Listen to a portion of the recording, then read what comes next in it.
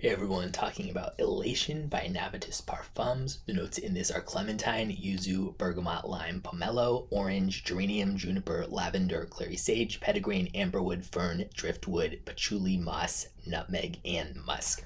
This reminds me so much of something else that I've smelled before, but I just cannot think of which exact fragrance it is. But there's when I smelled it, it's like what is that? So if anybody else thinks that there's something that this really reminds them of, I'm curious. But either way, that is to say, in my opinion, it's not the most original.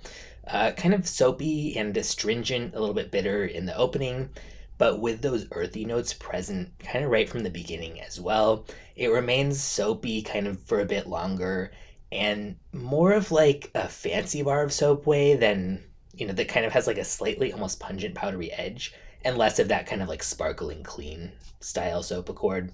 Also kind of has a blue cologne feel at times, so yeah, kind of edges between those areas.